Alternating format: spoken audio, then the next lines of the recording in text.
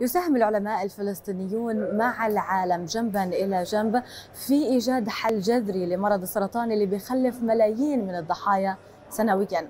الأستاذ يوسف نجاجرة أستاذ الكيمياء الطبية في جامعة القدس ومع علماء كنديين طوروا أبحاث ولسنوات للشفاء من مرض سرطان الثدي هذه الأبحاث نالت واستحقت براءة اختراع عالمية في الطريق الطويل لهزيمة هذا المرض. لنتابع. سرطان الثدي بين النساء بمناسبة شهر الزهري اللي هو شهر التوعية بسرطان الثدي. سرطان الثدي حوالي 40% من الحالات التي تصيب النساء هي سرطان الثدي. ومنتشر أينما نظرت حوالينا أنت بتشوف إنه في حالات. وجزء من هذه الحالات طبعا تصاب بالموضوع البحث اللي إحنا راح نحكي عنه موضوع اللي هو سرطان الثدي الثلاثي السلبية. هناك أهمية بالغة لأنه السرطان بشكل عام والثدي بشكل خاص إذا ما أصاب الإنسان في له يعني تبعات وعواقب صحية، نفسية، اجتماعية، اقتصادية، تصور مثلا إنه عندنا الإحصائيات بتقول إنه السرطان بشكل عام في تزايد كل الأوقات بزيد والأمر الآخر المقلق إنه يصيب النساء الفلسطينيات والعربيات بشكل عام بس الفلسطينيات بينهم حوالي 10 ل 15 سنة أكثر شبابية من النساء في الغرب.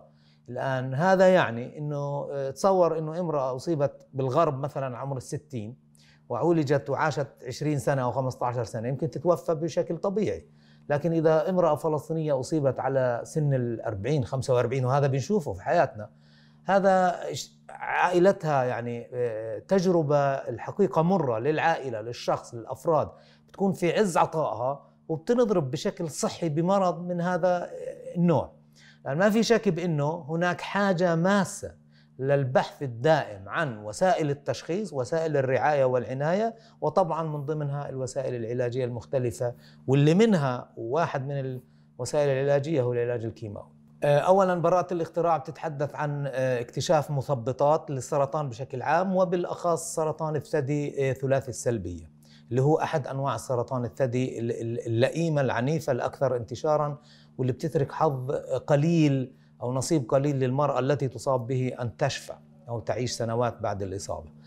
أنا أولا بدي أشكر برنامج زمالة بدي أشكر جامعة القدس اللي أتاحت لي فرصة أني أكون في زيارة بحثية عام 2019 نهاية 2018 لشهر نهاية شهر 9 2019 وأشكر الفريق البحثي الكندي اللي استضافني في جامعة ويسترن أونتاريو. الهدف كان البحث عن مثبطات تعمل بطريقة مستحدثة على قتل الخلايا السرطانية. هذه الزيارة البحثية نتج عنها تصميم مجموعة من المركبات أحدها أطلق عليه JKYN واحد وطبعا الثاني اثنين وهلم جرى و JKYN تيمنا بالأحرف الأولى لجيم كوروباتنيك يوسف نجاجرة. هذه المركبات عندما فحصت على خلايا سرطانية وبنحكي عن أنواع مختلفة من خلايا السرطان وبالذات الثدي ثلاثي السلبية تبين أنه لها نشاط وقدرة على وقف نمو هذه الخلايا. والأكثر تشجيعا بالنسبة لنا كان لما مزجناها مع أدوية أخرى كانت هذه السرطانات مقاومة لتلك الأدوية اكتسبت فعالية. يعني الأدوية التي كان لها مقاومة صارت فعالة. فعندنا عمليا مجموعة من المركبات بين إيدينا.